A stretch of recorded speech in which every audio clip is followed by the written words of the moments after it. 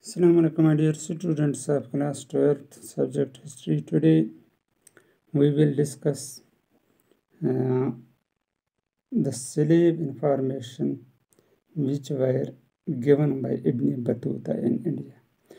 no doubt we find that the slaves were uh, especially we find slaves especially in Rome than Europe but Ibn Battuta also tell us about the slavery system in India also.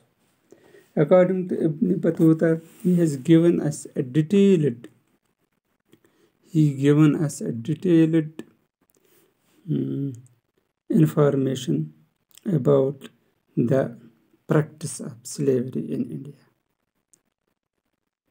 Practice of slavery in India.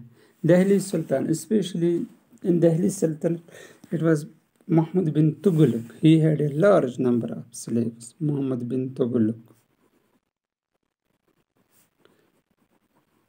According to Ibn Battuta, he was having large number of slaves in his uh, in his kingdom.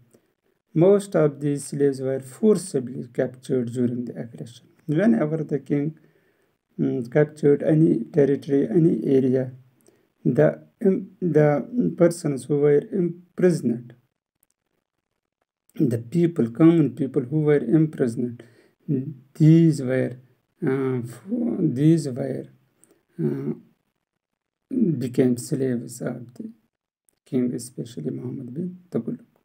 Many people sold their children. As according to um, Muhammad bin uh, Ibn Battuta, poorness was also one of the cause of the slavery system in India. Most of the children, most of the parents who sold their children as slaves because of the poverty. These slaves were offered. We also find that the slaves were also offered as a gift during the time. During that time, during Muhammad, Muhammad bin Tughlaq's time, we find that the other part of the slavery was the slaves were offered. Slaves were offered to the king or nobles.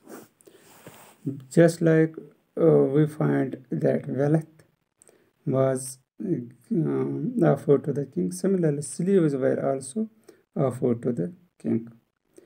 And they were given to king as gifts or nobles. They were given as gifts.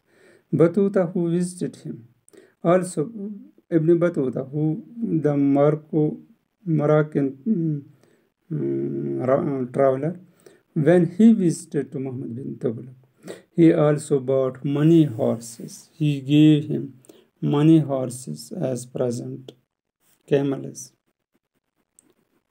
and slaves, which he bought with him. He presented them to Sultanate, to Sultan Muhammad bin Tughlaq, so that he got a unique position in the Muhammad bin Tughlaq's court. and we find also that during time of mm, Ibn Battuta, Sultan Muhammad bin Tughlaq also himself presented 200 slaves to Nasiruddin. Nasiruddin was a religious leader, a religious preacher. He was given 200 slaves by king himself. Such was the conditions of India during that time. Nobles. Now on this was king's side, on the other side nobles, means rich persons, who also keep slaves during that days. They also keep slaves. Nobles also keep slaves, though these their slaves were less in number as compared to kings, but they had slaves. Um, though these slaves, the Sultan used to get information about the activities of the noble. These slaves, which were given by king to the nobles, these slaves were uh, acted as spies to the king. They get they gave information to the king about the activities of the noble. The other important events of the empire, whether it was political, social, economic, or other, all events which were happening in the nobles area, the, um, the information was these slaves gave information to the king in no time. The women slaves, we find also women slaves, served as servants. Women slaves were also during that time they were acted as servants in the houses of nobles.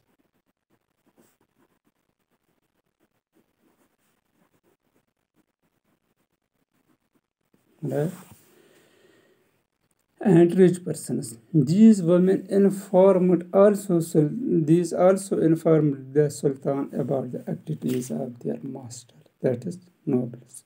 On one side they were slaves, but on the other side they gave information to the king about the happenings of the their master that was noble. Most of these slaves used to do domestic works in the field of uh, nobles land and there was a lot of difference between the sultan of these sultan slaves and the court slaves. Status of these slaves and the court slaves. We find that the slaves who were in court they were they were having higher status status as compared to the slaves of nobles Thus, we can say that during the time of um, Sultanate period, uh, slavery system was also vogue in the Indian uh, country in India. No doubt, these slaves were not just like the slaves of Europe who were given no rights. These slaves having some kind of status who lived in the Sultanate period, where the slaves of sultans or the slaves of rich persons or nobles.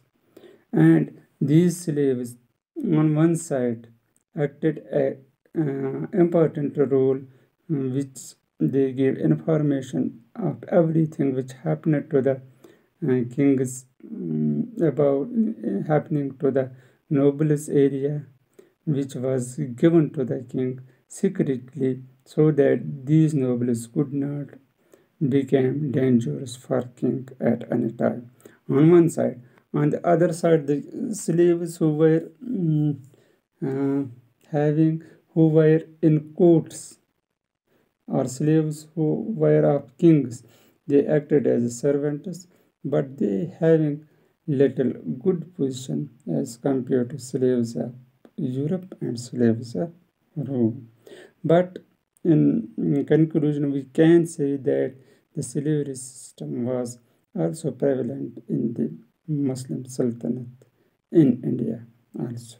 Thank you. This was all today's topic.